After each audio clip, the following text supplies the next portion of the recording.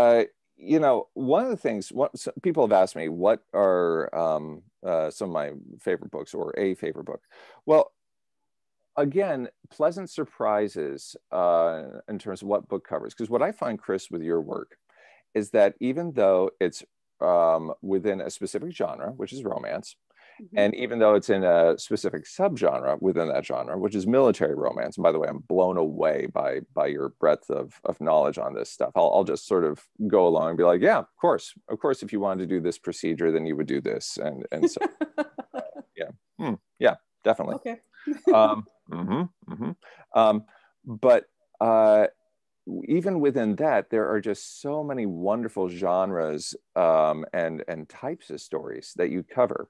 Um, I think uh, two recent uh, highlights that I've enjoyed are the story of Lycos, um, because that has so much information about you know what a what a true off the grid uh, survivalist uh, lifestyle can look like and I just found it delicious. Uh, sometimes literally, because it also has a recipe for uh, snow ice cream. Snow ice cream. Um, but um, also, uh, just just like yeah, okay. So if you have uh, your residence heated like this, then this is the thing. This is the logistic that you have here, and you know, just just the environs of of being up on the mountain and um, having everything sort of in its place. And here is how regularly you go into town to get supplies, and here's how you make supplies last, and here's how you make your own supplies.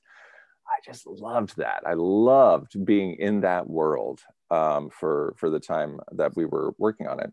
And then with Gabriel's story, um, which is a um, uh, a prequel, as if if you will. Mm-hmm. Um, with Gabriel's story, I love a good murder mystery, um, and um, and and this uh, Gabriel's story. Those of you who um, have not read it yet or listened to it, um, is this epic um, uh, murder mystery romance that takes place in New, New Orleans, and I loved doing that one. And I that that was one where I where I uh, maybe got back into the pants because I I you know wanted to I wanted to enjoy the mystery of it. Um, so and, anyway, and um, you did you did Remy. Uh, I had a uh, Creole, uh, somebody who spoke spoke Cajun and Remy, and you did him well. You oh, I appreciate so well well that's great. the other thing that's that's so much fun about about your books.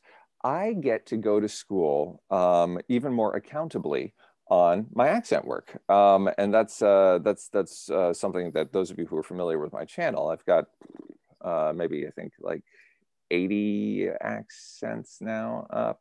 Um, you know, who's counting at this point? But um, i um, you know there are uh, when i'm doing um, one of Kris's books there'll be a character who has a particular um, accent or a particular region that they come from.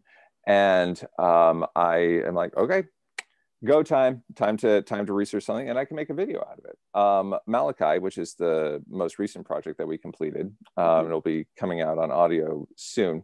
Um, uh, has uh, the most most of it takes place in Virginia. So I was like, okay, Virginia let's research. Um, I, was, I was able to pop out with a uh, with a Virginia video um, yeah. from that, which was great fun. Um, Kris, what what are some uh, what are some of the more uh, enjoyable adventures that your books have taken you through? Um, uh, oh, where where you know you suddenly realized that this was this was just more fun than you anticipated. Um, Asp's book, I got to research Colombia. Mm and I tell you, it was it was amazing learning the history of Colombia because I had to I had to incorporate the history in order to bring the backstory to life in Colombia. And um, to me, that was an enlightening, um, educational uh, period, and it opened my eyes to the struggles of Colombia and what was happening in that country. Had no idea.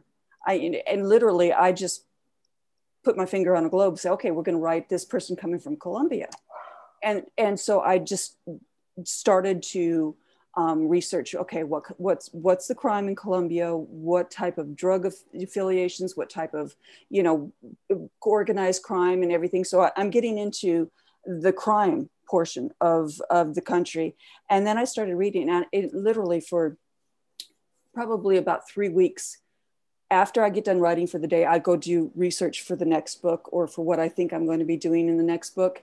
And I would I would go back and I would find these things about Colombia. I couldn't use them all, but I was so interested in Colombia's past. And the biggest compliment I've ever gotten, there's been a lot of them, but this one was a major one, was from a reader who said, I am from Colombia and you portrayed my country perfectly. Mm. It was mm. I, I, I mm. have chills from that comment, you know, and I've got that saved. That is a that is a huge thing for me, you know, along with the other um, people who say, you know, you you've helped me get through these certain situations in my life with your words. I, it it, uh, it humbles a person. It really mm-hmm. does. But mm-hmm. yeah, that's I, I love the research I love the research part of it. I can dig, you know, at the NSA, the CIA, you know, all the all the alphabets. They're going to look at my search, and I can show them in a book every place I put it. So, mm-hmm. but but yeah, I, I, got some really weird search uh, search histories.